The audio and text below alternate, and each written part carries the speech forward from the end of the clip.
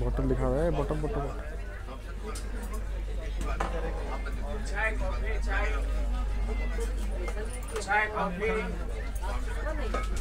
चाय कॉफ़ी चाय हूँ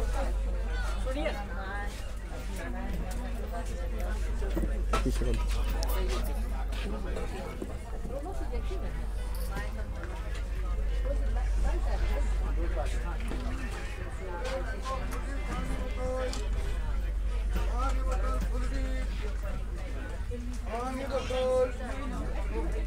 ಹೆಂಗೋ ಫುಲ್